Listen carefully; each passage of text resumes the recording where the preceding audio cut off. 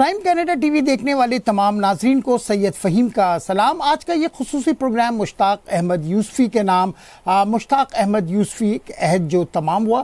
جب میں نے اس پروگرام کا عنوان مشتاق احمد یوسفی ایک عہد جو تمام ہوا رکھا، تو بہت سارے دوستوں کا فون آیا اور انہوں نے کہا کہ مشتاق احمد یوسفی کا عہد تمام نہیں، بلکہ ان کے عہد کا آغاز ہوا ہے، ان کا عہد جو ہے وہ شروع ہوا ہے۔ اور بلا شبہ یہ بات درست بھی ہے کہ مشتاق احمد یوسفی صاحب کی جو تحریر ہے وہ ایک خزانہ ہے، ایک سمندر ہے۔ اور اگر میں اس موقع پر یہ بات کہوں کہ مشتاق احمد یوسفی کی تحریر اور مشتاق احمد یوسفی صاحب کی شخصیت اردو ادب میں دور جاریہ ہے عہد جاریہ ہے، تو یقیناً یہ بات غلط نہیں ہوگی۔ اردو ادب کا چمکتا، دمکتا ستارہ، بیتاج بادشاہ اردو ادب میں خاکہ نگاری کے موجودوں میں سے ایک ایک بہت معتبر نام مشتاق احمد یوسفی، یقیناً کسی شخصیت کا نام نہیں، بلکہ ایک عہد کا نام ہے۔ اور آج ناظرین میں اپنے اس خصوصی پروگرام میں مشتاق احمد یوسفی کی تحریر پر، ان کی حالات زندگی پر کچھ بات کرنے کی کوشش کروں گا۔ کیونکہ مشتاق احمد یوسفی صاحب اردو ادب،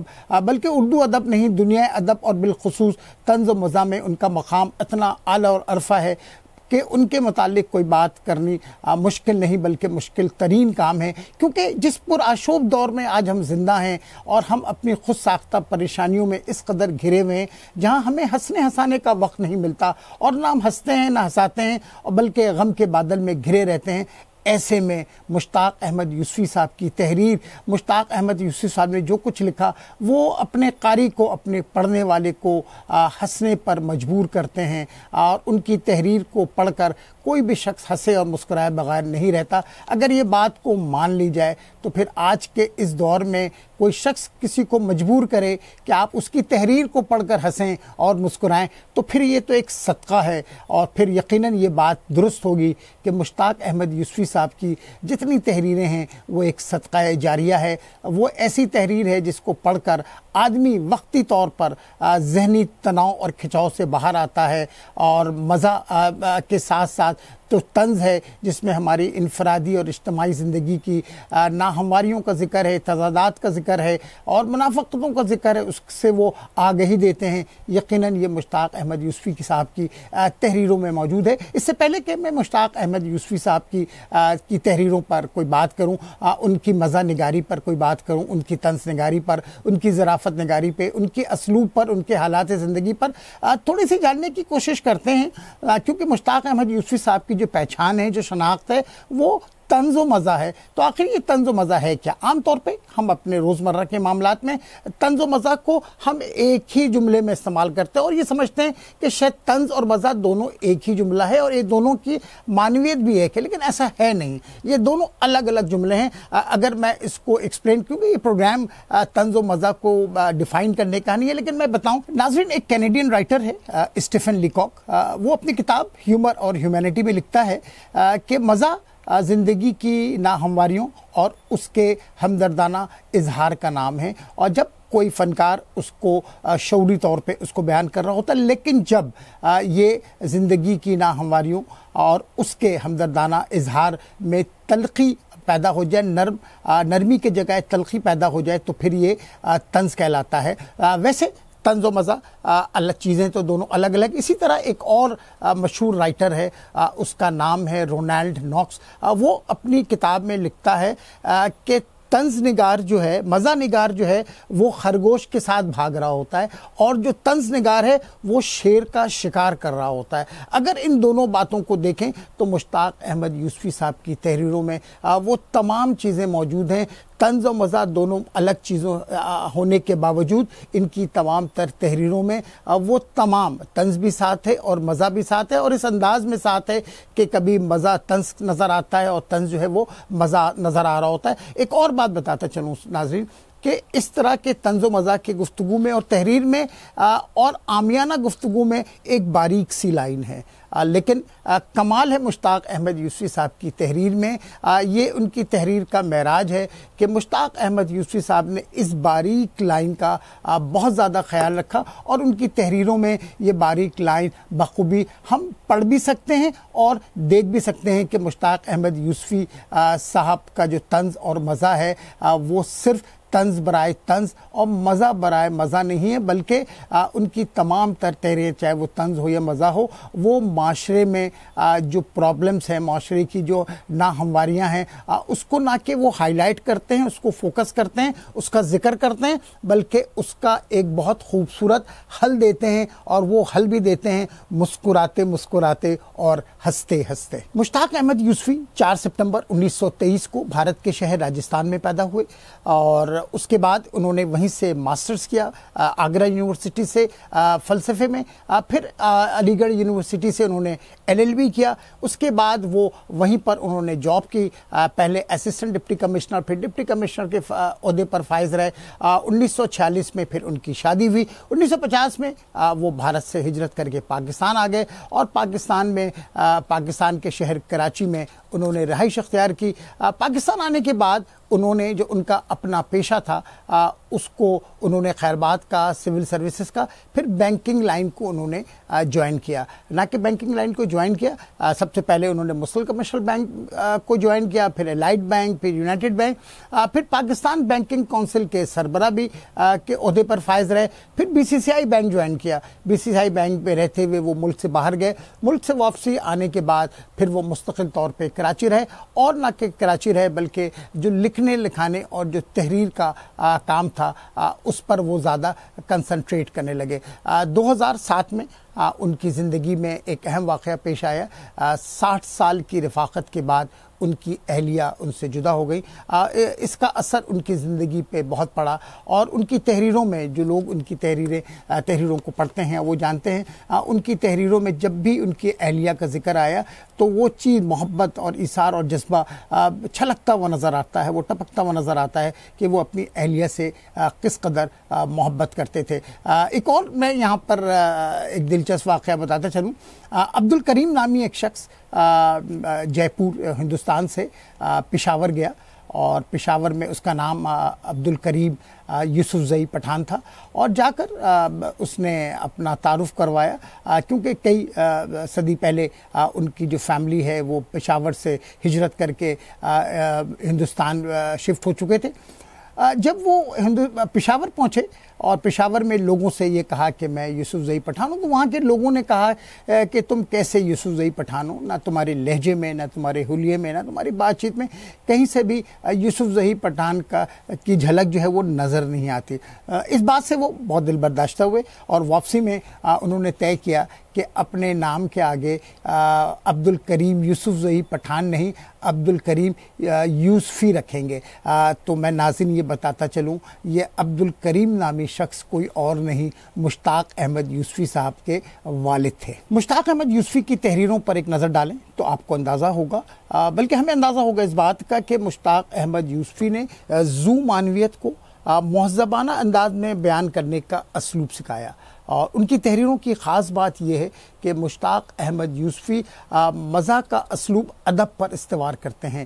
یہی وجہ ہے کہ انہوں نے ہر شعبہ تحریر میں اپنے نشتر گاڑے، چاہے وہ تبصروں تبصرے ہوں، خاکے ہوں پیروڈی ہو، مضمون نویسی ہو تاریخ و تحقیق ہو کوئی بھی مضمون ایسا نہیں گزرا جو ان کی دسترس سے باہر ہو۔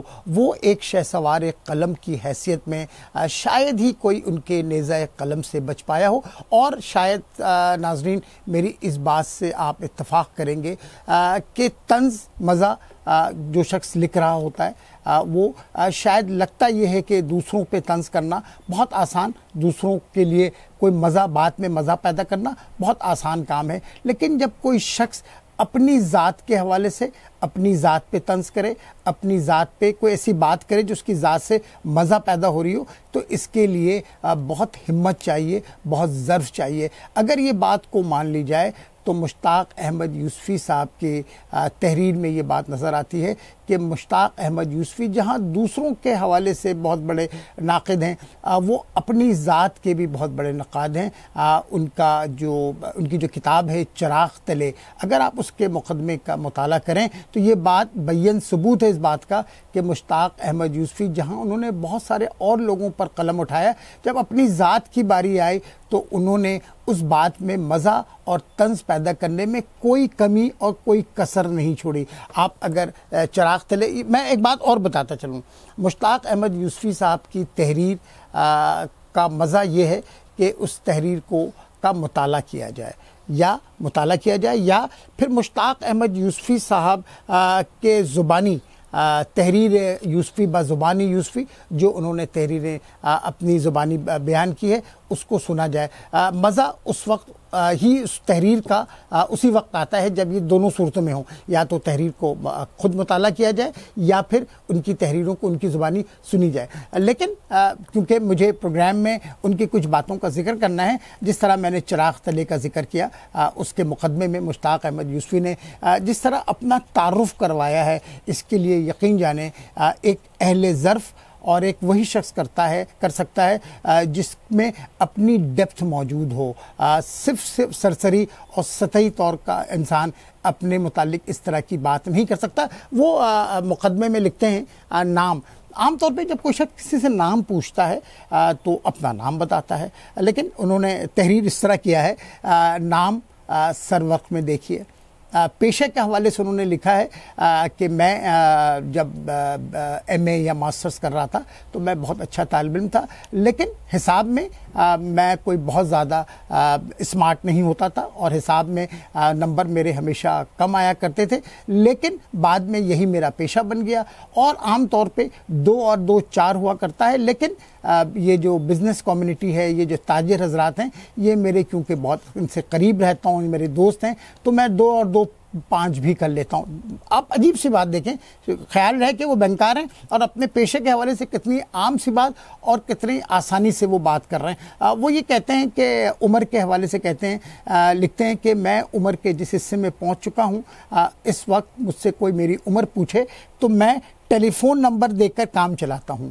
انداز بیان دیکھیں کس قدر خوبصورتی سے وہ اس بات کو کر رہے ہیں۔ ایک اور بات، انہوں نے بہت خوبصورت، انہوں نے کہا کہ آپ کا وزن کیا ہے انہوں نے لکھا ہے کہ میں اوور کوٹ پہن کر بھی بہت دبلا لگتا ہوں۔ قد کے بارے میں وہ یہ کہتے ہیں کہ ساڑھے پانچ فٹ پانچ فٹ چھ انچ جوتے پہن کر وزن کے بارے میں وہ کہہ چکے ہیں کہ میں اوور کوٹ پہن کر بھی بہت دبلا لگتا ہوں اور اپنی جسے کہتے ہیں نا کہ پسند ناپسندیدگی کے حوالے سے کہتے ہیں کہ مجھے رنگوں میں سفید گلاب پسند ہے اور خوشبو میں خیال رہے کہ وہ بینکار ہیں، بینکنگ کے پیشے سے منسلک رہے ہیں۔ وہ کہتے ہیں خوشبو میں مجھے کڑک نوٹ کی خوشبو مجھے بہت زیادہ پسند ہے۔ ناظرین، یہ باتیں میں اس لیے بتا رہا ہوں کہ مشتاق احمد یوسفی جب اپنی ذات پر کوئی بات کرتے ہیں تو کس خوبصورتی سے؟ اور کس طنز کے ساتھ اور کس مزہ کے ساتھ کرتے ہیں کہ پڑھنے والا اگر یہ کوئی یہ نہ بتائے کہ مشتاق احمد یوسفی کی خود اپنی تحریر ہے، تو کوئی یہ بتا نہیں سکتا کہ کوئی شخص اپنی ذات کے لیے اپنی شخصیت کے لیے، اپنی خاندان کے حوالے سے اپنے نام کے حوالے سے، اپنے پیشے کے حوالے سے گفتگو میں اس طرح مزہ پیدا کر سکتا ہے۔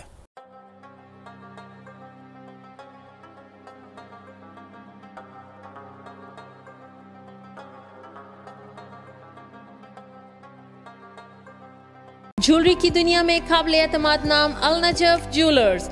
ہمارے یہاں جدید اور اعلیٰ معیار کی تمام قسم کی جولری دستیاب ہے۔ سنگاپور اور دبئی کی خوبصورت جولری، چوڑیاں، جھمکے، بالیاں بریسلٹ منگل سوتر نیکلس رانی ہار ہیرے کی انگوٹھیاں اور بہت کچھ۔ زیورات کی مرمت، خرید و فروخت یا تبدیلی کی سہولت۔ وزٹ کیجیے 1020 جنتا لان ویسٹ۔ کال کیجیے 514-495-0101 پاری dollar store and desi grocery sari کل تمام قسم دے پاکستانی اور انڈین گروسری اویلیبل ہے۔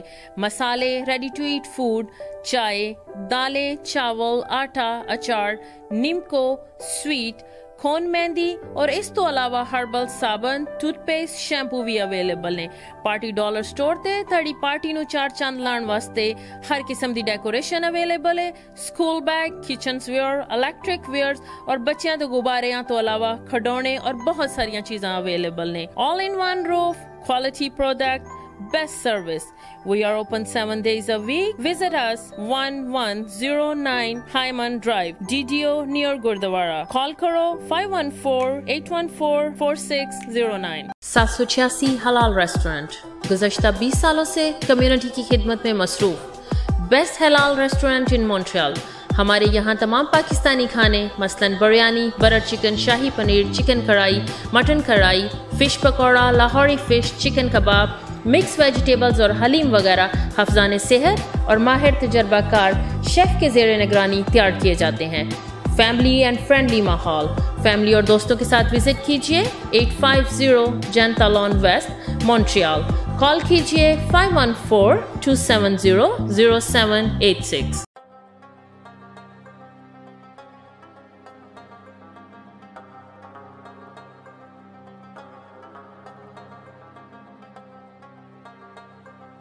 ناظرین، مشتاق احمد یوسفی صاحب کا جو فن ہے وہ صرف توجہ نہیں، بلکہ سنجیدہ توجہ کا حامل ہے۔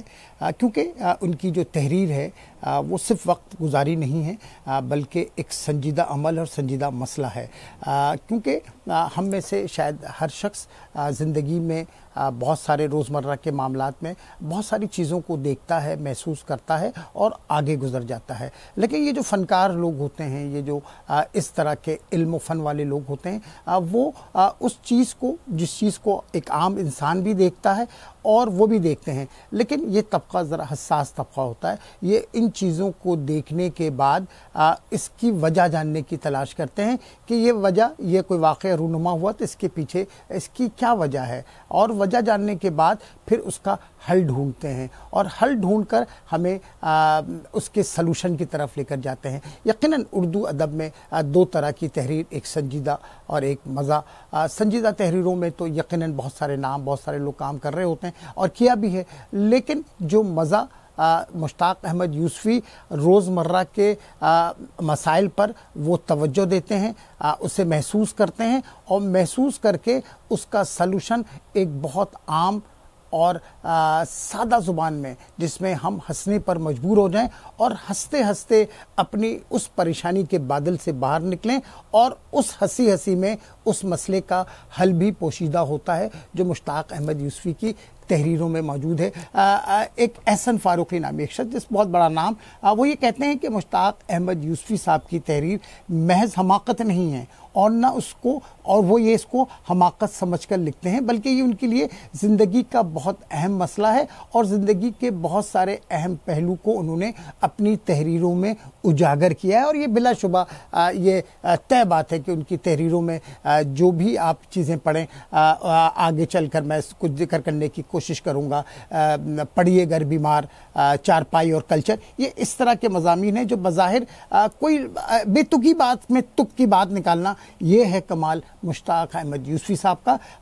ڈاکٹر ظہیر فتح پوری، جس کس کا نام ہم میں سے کس نے نہیں سنا، وہ ایک جگہ لکھتے ہیں ہم آج دور یوسفی میں جی رہے ہیں۔ ابن عیشہ یہ تعارف کے محتاج نہیں اور میں کیا ان کے متعلق بتاؤں، وہ یہ لکھتے ہیں کہ اگر آج کے اردو ادب میں اور بالخصوص طنز و مزہ کے سخن میں اگر کوئی آج کا دور اگر ہم کسی نام سے منسوخ کر سکتے ہیں تو وہ مشتاق احمد یوسفی کا نام ہے۔ یہ دور جو ہے مشتاق احمد یوسفی کا ہے۔ ناظرین، ہر فنکار اپنے دور کے لیے، اپنے عہد کے لیے پیمانے متعین کرتا ہے۔ وہ پہلے سے موجود روایتوں کو اثر نو تشکیل دیتا ہے۔ اور یہی وجہ ہے کہ ہر بڑا ادیب، ہر بڑا فنکار اپنے دور کے لیے ایک کسوٹی ہوتا ہے اور بلا شبہ مشتاق احمد یوسفی اس دور کے ایسی ہی ایک کسوٹی ہیں جنہوں نے نہ صرف روایتی طنز و مزہ کو جمع کیا اور بلکہ اس میں نئے زاویوں کو نئے انداز کو اور نئے طرز فکر کو اپنی تحریروں میں شامل کیا۔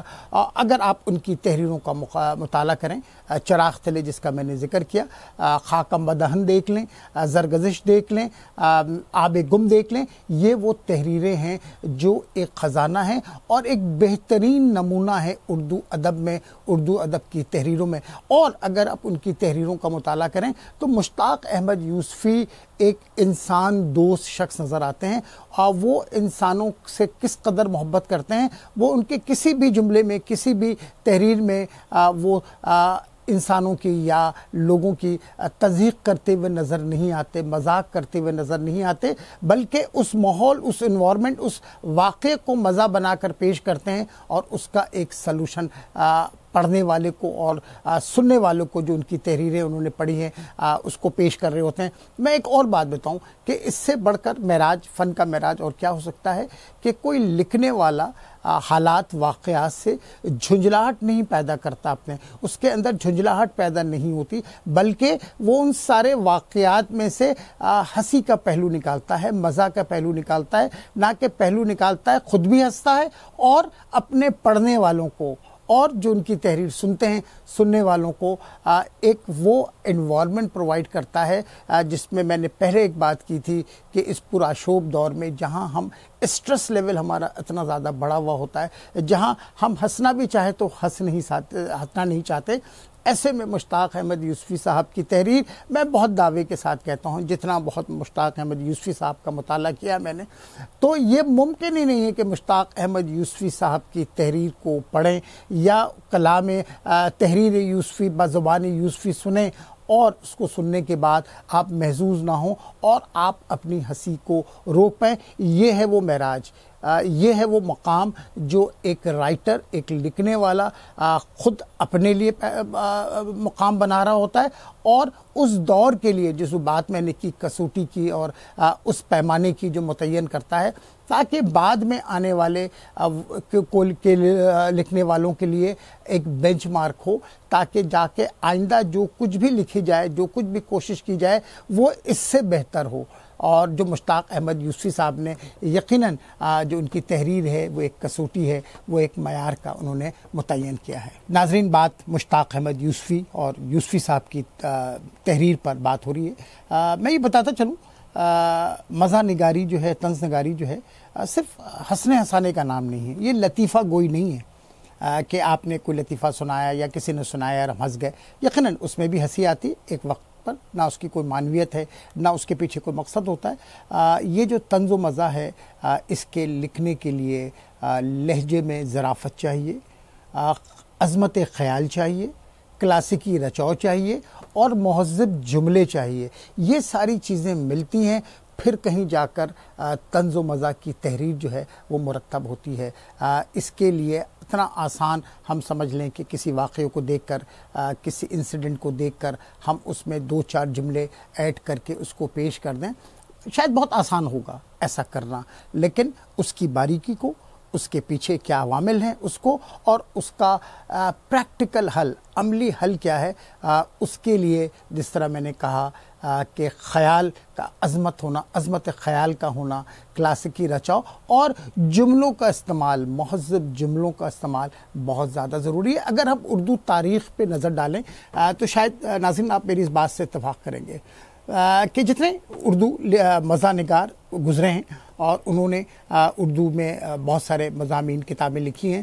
اگر آپ اس کا مطالعہ کریں تو یہ بات کا اندازہ ہوگا کہ ان میں سے بہت کم لوگ ایسے ہیں جن کی کتابیں اور جن کی تحریریں بے معنی ہیں، جس کا کوئی مقصد نہ ہو۔ تفریح، برائے تفریح، ایسا ہرگز نہیں ہے۔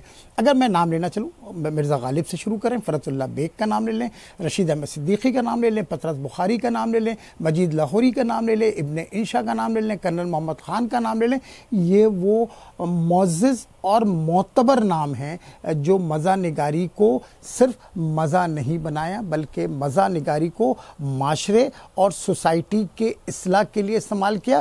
اور اس دور میں، جس دور میں انہوں نے موجود تھے اور جس دور میں انہوں نے تحریر اپنے قلم بند کیا، اس دور کے تمام مسائل تمام مسائل کو نہ کہ صرف ہائی لائٹ کیا، بلکہ اس کا سلوشن بھی دیا۔ اگر اس بات کو، اس روایت کو صحیح مان لی جائے تو مشتاق احمد یوسفی اسی صف میں کھڑے ہوئے نظر آتے ہیں جس میں نے جنہوں نے اس معاشرے کی بہت ساری ناہمواریوں کو، تضادات کو، منافقتوں کو ہمیں ان چیزوں سے آگاہ کیا اور بلکہ ہمیں بچنے کے راستے بھی بتائے۔ ہمیں اس کا سلوشن بھی دیا۔ مشتاق احمد یوسفی صاحب کی کتاب، جس طرح میں نے کہا کہ ان کی تحریروں سے ہم کچھ دیر کے لیے صحیح اس غم کے بادل سے نکلتے ہیں اور ہنسنے ہنسانے کا عمل ہماری زندگی میں شروع ہوتا ہے، تو یہ یقیناً ایک صدقہ جاریہ ہے جو مشتاق احمد یوسفی صاحب کی تحریر ہے۔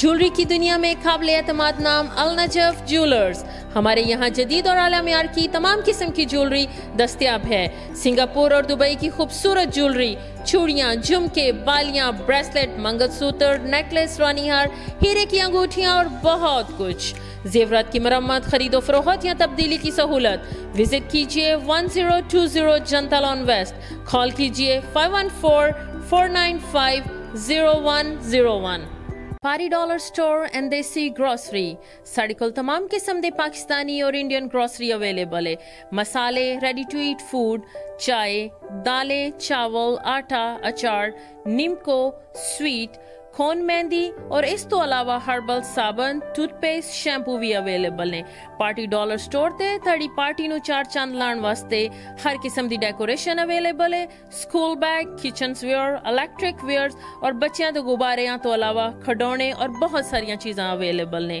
all in one roof quality product best service.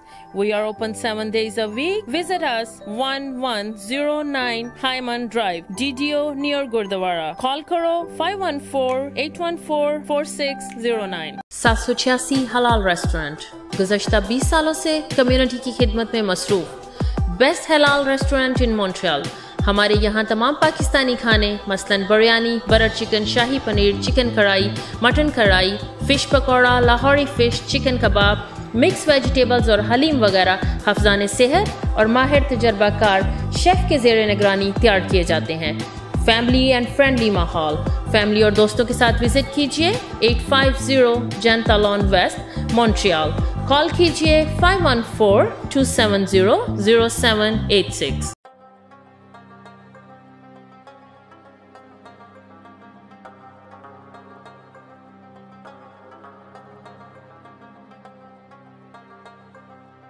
ناظرین مشتاق احمد یوسفی کے تحریر کے اتنے پہلو ہیں، اتنے رنگ ہیں کہ آپ کس کو بیان کریں اور کس کو بیان نہ کریں۔ مشتاق احمد یوسفی کی تحریر کی خاص بات یہ ہے جس کا میں نے پہلے بھی ذکر کیا کہ وہ بے تکی بات میں تک کی بات نکالتے ہیں۔ اور پھر اس کو اس انداز میں بیان کرتے ہیں جو یقیناً ایک مزہ نگار کا منصب ہے اور اس منصب پر وہ بالکل فائز نظر آتے ہیں۔ ان کی کتاب چراغ تلے جس کا ذکر کیا میں نے، ان کی پہلی کتاب، اس کتاب کے چند مضامین پڑھیے گر بیمار۔ چارپائی اور کلچر، کرکٹ جنون لطیفہ، کافی، یہ وہ مضامین ہیں، وہ، یہ وہ تحریر ہے جس جو میں اگر اس کی، ان کی تحریروں کے چند پورشن چند پارٹس کو بیان بھی کروں تو یقیناً نہ وہ بیان کرنے کی مجھ میں ہمت ہے جرت ہے اور نہ آپ وہ سمجھ پائیں گے۔ مزہ اسی وقت ہے کہ جب مشتاق احمد یوسفی صاحب کی تحریروں کو کا مطالعہ کیا جائے۔ میں ایک بات بتاؤں، یہ چراغ تلے یہ ان کی بلا شبہ اور ان کا جو ایک اس میں مضمون ہے پڑھیے گر بیمار، ان کی ایک نمائندہ تحریر ہے۔ میں بہت ذمہ داری سے بات کر رہا ہوں واقعی ان کی ایک نمائندہ تحریر ہے۔ کس طرح ہمارے مشرقی معاشرے میں کوئی شخص اگر بیمار پڑ جائے اور عیادت سنت بھی ہے اور عیادت کی جب لوگ جاتے ہیں تو جو شخص عیادت کے لیے جاتا ہے، وہ بیمار کے ساتھ جو سلوک کرتا ہے، آپ ذہن پہ لے آئیں اور آپ کبھی بیمار پڑے ہوں اور کوئی شخص عیادت کے لیے آیا ہو، آپ کے نہ چاہتے ہوئے بھی وہ جو آپ سے سوالات کر رہا ہو اور جن باتوں کا انہوں نے ذکر کیا، خاص طور پہ کہ آپ اس کے سامنے کبھی کوئی بیماری کا ذکر کر دیں اور یہ ممکن ہی نہیں کہ وہ شخص جو سننے والا جو عیادت کے لیے آیا ہے وہ آپ کو اس کے لیے کوئی دوائی، کوئی نسخہ نہ بتائے، کوئی ٹوٹکے نہ بتائے اور اس اس پر لازم یہ بھی ہے کہ جو شخص عیادت کے لیے آیا ہے، جو شخص بیمار ہے وہ بہت زیادہ خوش اخلاقی کا مظاہرہ بھی کرے۔ ان ساری چیزوں کو جو اس کی منظر کشی ہے پڑھیے گر بیمار میں آپ پڑھیں تو آپ کو اندازہ ہوگا۔ ایک اور کتاب، ایک اور مضمون ان کا چارپائی اور کلچر۔ اب اندازہ لگا لیں، چارپائی ایک بہت عام سی چیز، لیکن انہوں نے چارپائی کے ذریعے پوری ثقافت کو سامنے لا کے کھڑا کر دیا ہے۔ کس طرح ہمارے روزمرہ کے نشیب و فریز نشیب و فراز اور جو روزمرہ کے معاملات ہیں زندگی کے اس کو چارپائی اور کلچر میں جس طرح بیان کیا ہے مشتاق احمد یوسفی نے، یقین یعنی جانیے یہ انہی کا فن ہے، یہ انہی کا کمال ہے کہ مشتاق احمد یوسفی نے ایک چارپائی جیسی، ایک بہت ہی معمولی سی چیز کو انہوں نے پوری ثقافت کو، پورے کلچر کو اپنی اس تحریر میں انہوں نے پیش کیا ہے۔ تو مشتاق احمد یوسفی کی تحریر اگر آپ مطالعہ کریں تو آپ کو اندازہ ہوگا کہ مشتاق احمد یوسفی صاحب کی تحریر میں پترس بخاری کا کا جو ان کی تحریر میں جو مزہ کا رنگ ہے، وہ مشتاق احمد یوسفی صاحب کی تحریر میں کہیں کہیں نظر آتا ہے۔ اور جو طنز ہے، وہ رشید احمد صدیقی صاحب کی تحریر کو دیکھ رہے ہیں تو یہ دونوں کا آپ یہ کہہ دیں کہ بلینڈ پترس بخاری کا مزہ بھی نظر آ رہا ہوتا ہے اس میں۔ رشید احمد صدیقی صاحب کی طنز و مزہ بھی ہے۔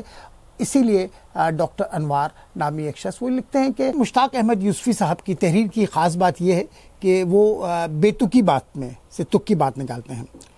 میں بے تکی اس لیے کہہ رہا ہوں کہ ان کی بہت ساری تحریروں میں آپ دیکھیں شاید عجیب سی بات ہے۔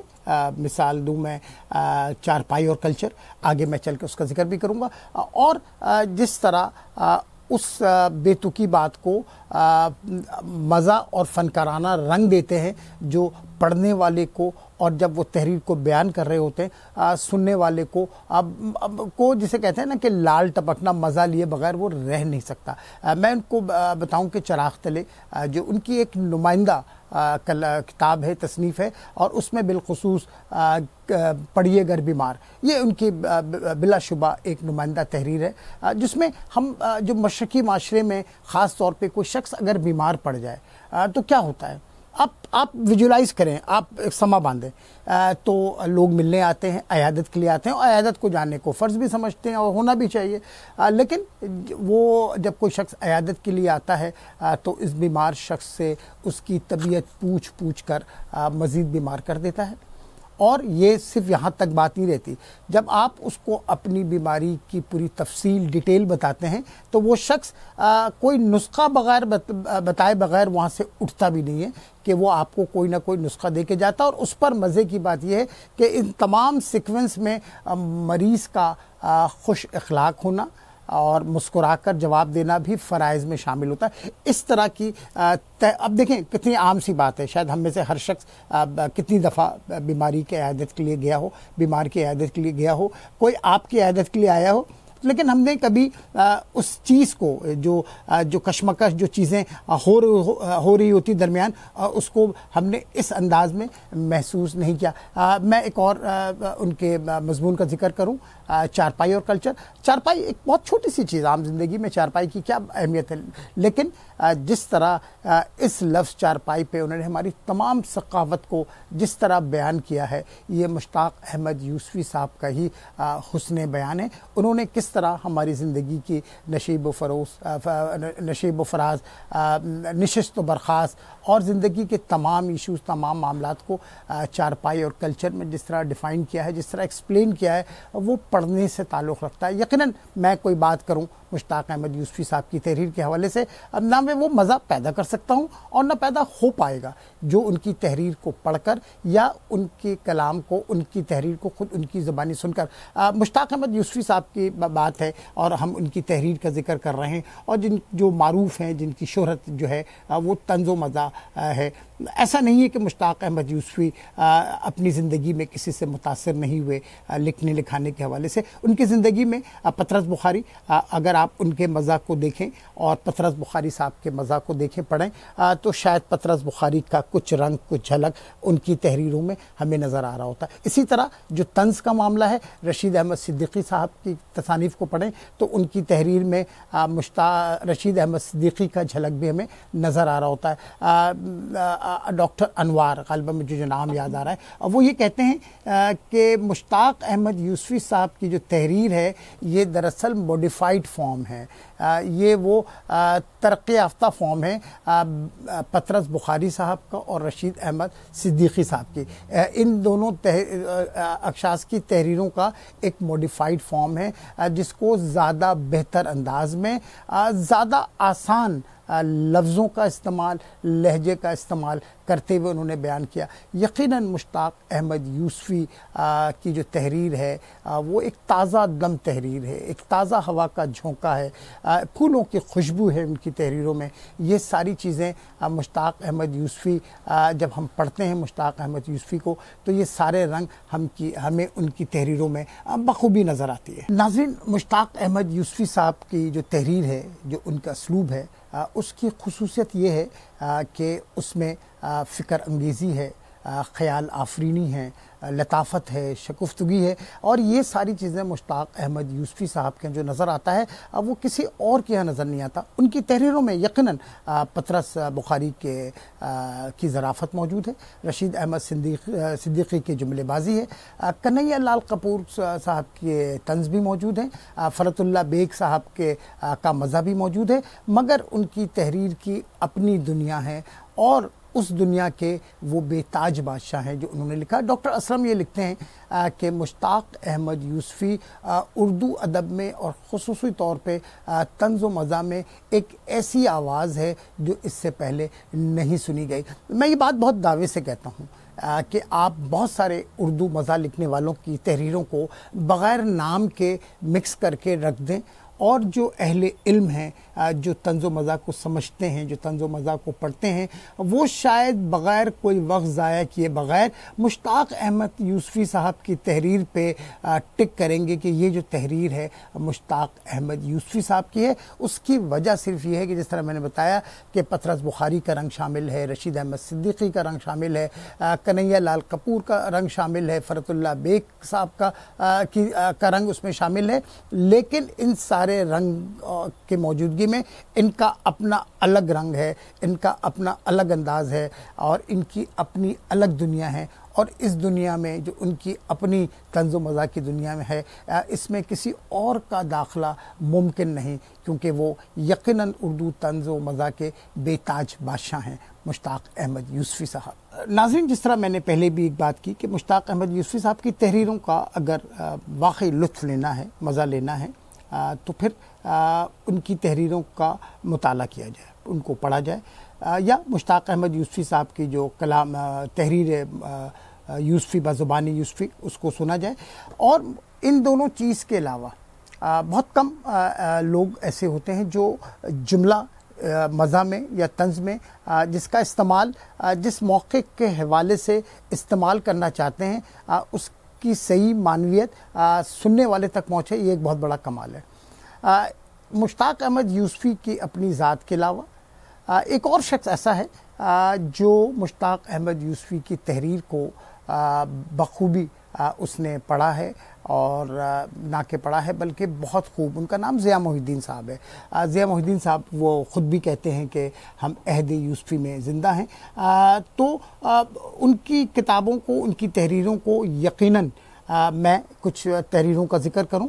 نہ اس میں وہ مزہ پیدا نہیں ہو سکتا جو مشتاق احمد یوسفی صاحب کی کتاب کو پڑھ کر یا خود ان کی زبانی سن کر یا ضیاء محی الدین صاحب نے جس طرح ان کی تحریروں کو پڑھا ہے۔ وہ ایک جگہ لکھتے ہیں کہ حالات حاضرہ کے حوالے سے اگر کوئی شخص اس پر ڈسکشن ہو اور اس کا بلڈ پریشر ہائی نہ ہو اور وہ گالی گلوچ نہ کرتا ہو، تو یا تو وہ اللہ کا ولی ہے یا پھر وہ ذمہ دار ہے اس حالات کا جو پیدا ہوئے ہوئے ہیں۔ کتنی عجیب سی بات ہے۔ وہ لاہور، جن لوگوں نے لاہور دیکھا ہے، لاہور سے واقف ہیں، لاہور کی اولڈ لاہور کی گلیاں بہت تنگ ہیں۔ وہ ایک جگہ لکھتے ہیں کہ لاہور میں کچھ گلیاں اتنی تنگ ہیں، اگر یہاں سے کوئی مرد اور وہاں سے کوئی عورت آ رہی ہو تو درمیان میں صرف نکاح کی گنجائش رہ جاتی اور کوئی گنجائش نہیں رہتی۔ اندازہ لگا لیں کتنی عام سی بات اور کتنی خوبصورتی سے انہوں نے بیان کیا۔ وہ ایک اور جگہ لکھتے ہیں کہ مرد ہمیشہ نظر نیچی اور نیت خراب رکھتا ہے۔ اور جو شخص اپنے ماضی کو یاد نہیں رکھتا، وہ یقیناً لوفر ہے۔ ایک اور بڑی دلچسپ تحریر ان کی، وہ ایک جگہ لکھتے ہیں کہ ایک جگہ کچھ ایک خاتون، ایک لڑکی سے ان کی ملاقات ہوئی۔ گھنٹے ڈیڑھ گھنٹے تک ان سے بات چیت ہوتی رہی۔ گھنٹے ڈیڑھ گھنٹے کے بعد اس خاتون نے مشتاق احمد یوسف سے کہا کہ آپ گفتگو میں تو بہت اچھے اور بھلے آدمی لگتے ہیں مگر آپ کی تحریریں پڑھ کر ایسا لگتا ہے کہ آپ بہت لچے آدمی ہیں۔ آپ اندازہ لگا لیں، وہی والی بات جو میں نے چراغ تلے کے مقدمے کی بات کی تھی، کوئی شخص اپنی ذات پر اس طرح کے جملے استعمال کرے، اس کے لیے ظرف چاہیے، ہمت چاہیے، اور یہ وہی شخص کر سکتا ہے جو بہت وزندار ہو جس میں بہت زیادہ گہرائی ہو۔ ناظرین میری کوشش تھی، مشتاق احمد یوسفی کے بہت سارے پہلو ہیں۔ بہت مختصر سے وقت میں بہت ساری باتیں ان کی میں کر نہیں پایا، ان کے متعلق بہت ساری باتیں بتا نہیں پایا۔ اور ان کے عقیدت مندوں سے جو ان کے چاہنے والے ہیں، ان کے پڑھنے والے ہیں ان سے میں معذرت چاہوں گا۔ اگر پروگرام میں میری کوشش میں کوئی کمی رہ گئی تو مجھے بالکل مجھے اس کی معذرت کیجیے گا۔ میں یہ بتاؤں کہ ہم یہ جملہ اکثر یہ کہتے ہیں کہ ہم عہد یوسفی میں جی رہے ہیں۔ عہد یوسفی شروع ہوا، آغاز ہوا۔ اگر میں یہ کہوں کہ مشتاق احمد یوسفی نفس صدی کسے ہماری دو پشتیں مشتاق احمد یوسفی اور عہد یوسفی میں جی رہی تھی۔ ہم عہد یوسفی میں جی رہے ہیں۔ اور آنے والا دور بھی یقیناً مشتاق احمد یوسفی کا دور ہوگا۔ کیونکہ اردو ادب کا یہ وہ ایسا نگینہ ہے جو اس سے پہلے اردو ادب نے طنز و مزہ میں دیکھا اور نہ ہی مستقبل قریب میں اور نہ مستقبل بعید میں ہمیں ہوتا ہوا نظر آتا ہے۔ دعا ہے رب سے کہ مشتاق احمد یوسفی کی تحریریں اور جو انہوں نے لوگوں کو ہنسنا ہنسانے کا کام کیا اس کے اوس رب جو ہے ان کو اپنی رحمت کے سائے میں رکھے، انہیں جنت الفردوس میں اعلیٰ سے اعلیٰ مقام عطا فرمائے اور ان کی تحریر کو زندہ رکھنے کا، اور اگر ہم یہ چاہتے ہیں کہ مشتاق احمد یوسفی کا عہد برقرار رہے، وہ عہد عہد جاریہ رہے، تو لازم ہے کہ ہم ان کی تحریر کو پڑھتے رہیں اور نہ کہ پڑھیں بلکہ اس کو سمجھتے بھی رہیں کہ مشتاق احمد یوسفی صاحب کی تحریر صرف پڑھنے کے لیے نہیں، پڑھ کر سمجھنے کے لیے ہے۔ تو ناظرین جی، یہ تھا میرا آج کا پروگرام۔ امید ہے آپ کو پسند آیا ہوگا، اور اگر آپ کو یہ پروگرام پسند آیا ہے، تو مجھے اپنے فیڈ بیک سے ضرور نوازیے گا۔ بہت بہت شکریہ۔ السلام علیکم۔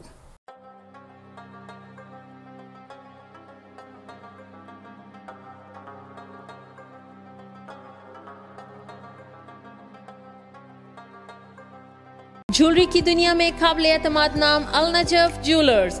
ہمارے یہاں جدید اور اعلیٰ معیار کی تمام قسم کی جولری دستیاب ہے۔ سنگاپور اور دبئی کی خوبصورت جولری، چوڑیاں، جھمکے، بالیاں بریسلٹ منگل سوتر نیکلس رانی ہار ہیرے کی انگوٹھیاں اور بہت کچھ۔ زیورات کی مرمت، خرید و فروخت یا تبدیلی کی سہولت۔ وزٹ کیجیے 1020 جنتالون waste.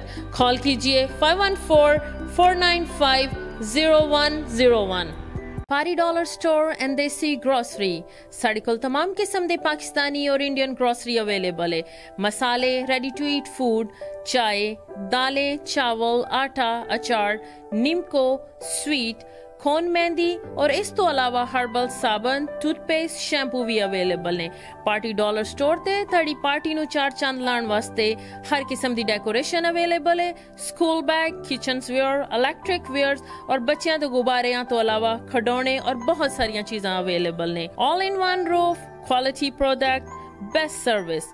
We are open 7 days a week. Visit us 1109 Hyman Drive, DDO near Gurdwara. Call karo 514-814-4609. 786 حلال ریسٹورنٹ گزشتہ بیس سالوں سے کمیونٹی کی خدمت میں مصروف بیسٹ حلال ریسٹورنٹ ان مونٹریال ہمارے یہاں تمام پاکستانی کھانے مثلا biryani برر chicken shahi paneer chicken karahi mutton karahi fish pakora Lahori fish chicken kebab mix vegetables اور حلیم وغیرہ حفظان صحت اور ماہر تجربہ کار شیف کے زیر نگرانی تیار کیے جاتے ہیں۔ فیملی اینڈ فرینڈلی ماحول۔ فیملی اور دوستوں کے ساتھ وزٹ کیجیے eight five zero Jean Talon west Montreal. Call کیجیے five one four two seven zero zero seven eight six.